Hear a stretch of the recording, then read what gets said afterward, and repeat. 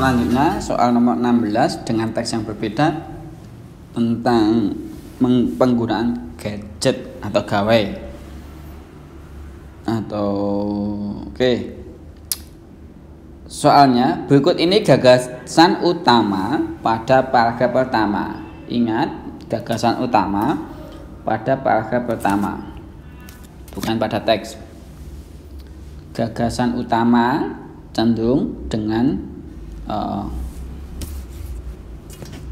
hampir mirip dengan kalimat utama. Kalimat utama kalimat yang dapat mewakili menjiwai dalam satu paragraf. Oke. Biasanya kata yang sering muncul dijelaskan oleh kata-kata yang sering muncul. Misalnya dalam beberapa tahun terakhir mulai banyak para pasien anak dan remaja yang memiliki keluhan pada tulang belakang. Oke, seperti yang dialami pada orang yang berusia 40 tahun ke atas. Anak dan remaja ini ternyata gemar menggunakan gadget. Oke, ada anak dan remaja yang diulang. Oke, banyak dari mereka yang bermain gadget. Nah, gadget juga diulang lagi. Oke, ada pula yang badannya bersandar di kursi dengan posisi Nah, ini menjelaskan tentang posisi penggunaan gadget yang salah. Di samping itu juga ada yang memiringkan. Nah, ini juga sama. Apabila ini dilakukan terus-menerus, tulang belakang akan protes dengan mengirimkan sinyal nyeri. Nah, maka gagasan utamanya adalah ini ada kata anak dan remaja.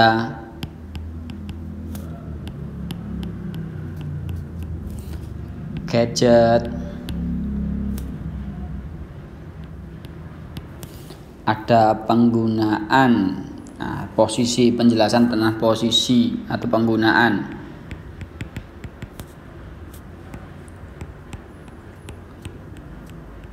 penggunaan gadget ini ini tadi maka simpulan yang tepat uh, maksud saya ada gagasan utama adalah a penyakit tulang belakang meningkat beberapa tahun terakhir tetapi ini terlalu umum karena yang di sini yang dijelaskan adalah anak dan remaja dan disebabkan oleh penggunaan gadget yang salah. B. Keluhan pada tulang belakang biasanya dialami orang tua. Salah, karena ini yang dibahas adalah anak dan remaja. C. Jumlah anak dan remaja mengeluhkan sakit tulang belakang meningkat. Ya, tetapi uh, juga masih terlalu umum. Kenapa? Karena yang dibahas ini adalah tentang uh, disebabkan karena penggunaan gadget. Yang D. Anak dan remaja gemar menggunakan gadget dengan posisi yang tidak betul maka ini betul ada gadget ada anak dan remaja dan penggunaan yang atau posisi yang tidak betul yang E posisi menggunakan gadget menyebabkan nyeri tulang belakang. Oke. Ini betul penggunaan gadget tetapi kurang tepat karena ada belum ada ada uh, belum ada kata anak dan remaja. Maka yang paling tepat adalah yang D dibandingkan dengan yang lain.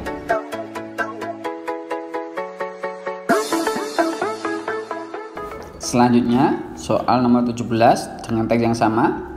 Pada teks tersebut ditemukan kesalahan penggunaan tanda baca. Oke, yang ditanyakan adalah tanda baca.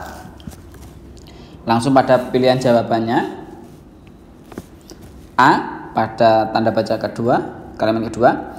Padahal, koma, betul, rasa sakit seperti ini biasanya dialami orang yang berusia 40 tahun ke atas. Nah, ini betul.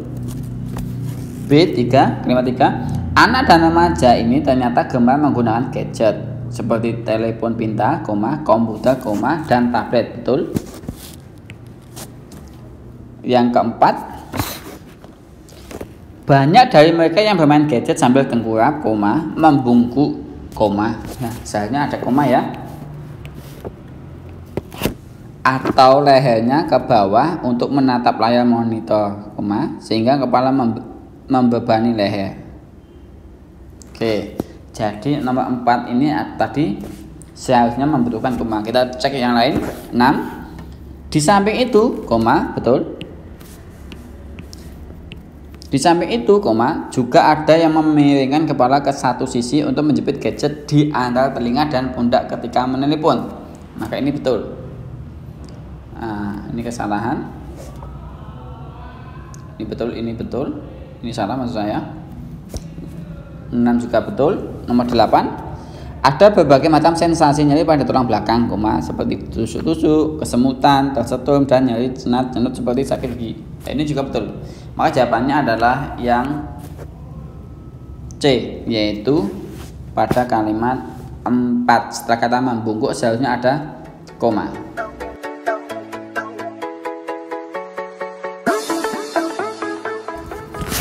Selanjutnya yaitu soal nomor 18 dengan teks yang sama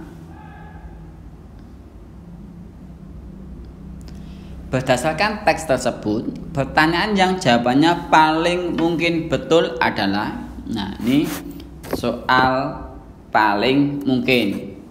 Pilihlah jawaban yang bisa iya, bisa tidak. Satu pernyataan yang memiliki implikasi bisa iya atau tidak. Nah, ini kata mungkin. A. Bagaimana rasa nyeri yang disebabkan oleh penggunaan gadget? Nah, ini tadi ada di dalam teks yaitu sensasi nyeri yang pada tulang belakang seperti ditusuk-tusuk. Nah, maka ini betul. Nah, maka ini betul. Tetapi bukan jawaban. Karena yang ditanyakan adalah paling mungkin. Maka A salah. B apa akibat dari rasa nyeri yang tidak diobati? Sepertinya memang tidak ada dalam teks, maka tidak pernyataan ini salah, artinya tidak ada. Oh, mohon maaf maksudnya ada dalam teks jika dibiarkan terus menerus maka ini juga betul tetapi bukan jawaban karena yang ditanya adalah paling mungkin yaitu pada kalimat 11 akan tetapi jika dibiarkan tetapi bukan jawaban yang C mengapa banyak anak dan remaja menderita nyeri pada tulang belakang? Ya ini dijelaskan pada paragraf pertama. Karena sering menggunakan gadget dengan posisi yang salah. Maka ini juga betul. Sudah ada dalam teks tetapi bukan ja jawaban. Karena yang ditanya adalah paling mung mungkin. Maka C salah. Yang D bagaimana kebiasaan macam memainkan gadget? Nah ini sama hampir sama dengan C tadi menjelaskan dijelaskan penggunaan yang salah yang miring dan sebagainya tadi. Maka ini juga sudah ada dalam teks ini juga betul tetapi bukan jawaban karena yang ditanya adalah paling mungkin. Sekarang perhatikan yang E. Apakah kesalahan posisi penggunaan gadget bermula dari kebiasaan? Nah ini. Ini tidak ada dalam teks artinya tidak dijelaskan dalam teks apakah itu bermula dari kebiasaan atau bukan tetapi pernyataan ini bisa betul bisa juga salah. Nah, ini apabila dilakukan terus-menerus, tulang belakang akan protes. Tetapi apakah itu berarti dari kebiasaan? Ya, belum tentu tidak. Mungkin hanya baru satu kali dua kali, tetapi langsung e, bisa menyebabkan nyeri. Maka pernyataan E termasuk jawaban. Kenapa? Yang termasuk paling mungkin betul, mungkin betul, bisa juga mungkin salah. Jadi jawabannya adalah E.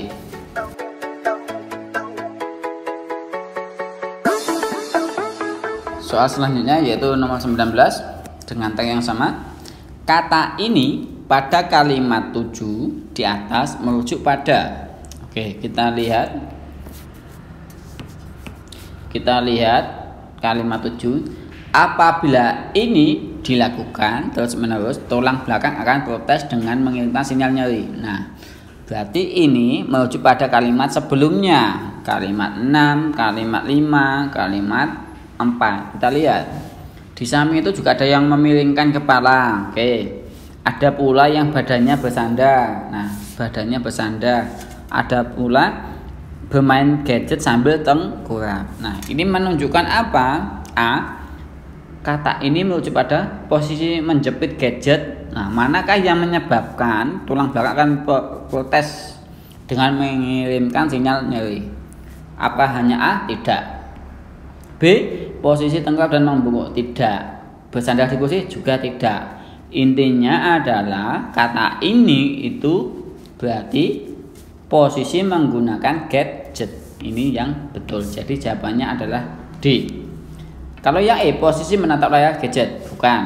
Ya, jadi tidak hanya memakai itu saja, tetapi yang paling tepat adalah yang di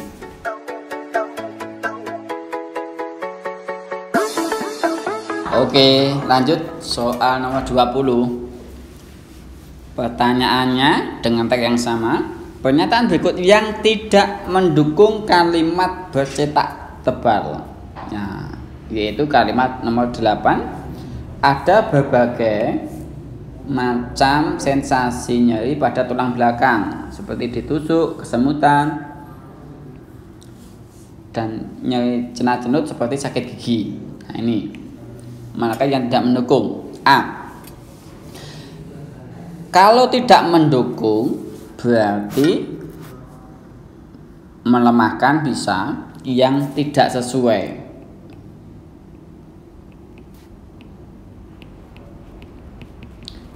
Nah, ini pilihlah yang tidak sesuai.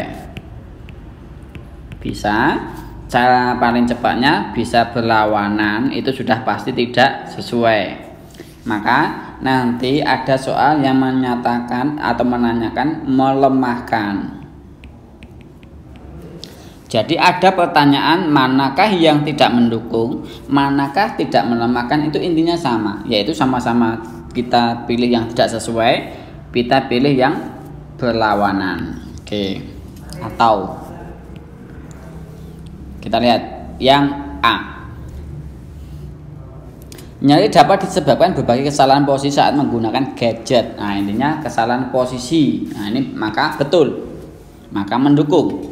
B. Berbagai gadget yang digunakan dengan posisi yang tidak betul dapat menyebabkan alasannya ini sama saja juga mendukung. C. Nyeri yang dirasakan pengguna gadget dipengaruhi oleh tipe dan jenis gadget. Nah, di sini tidak ada dalam tes tidak disebutkan, maka ini melemahkan. Maka ini pernyataan yang salah. Yang D Waktu kebiasaan posisi waktu dan kebiasaan posisi memakai gadget dapat menyebabkan sensasi nyeri pada tubuh betul. Jadi sesuai dengan teks yang E nyeri yang sudah menjalar sampai tulang merupakan tahapan paling akhir dari sensasi nyeri karena penggunaan gadget. Nah, ini juga betul. Maka jawaban yang salah yang tidak mendukung yaitu adalah yang C karena tidak ada dalam teks atau tidak sesuai dengan teks.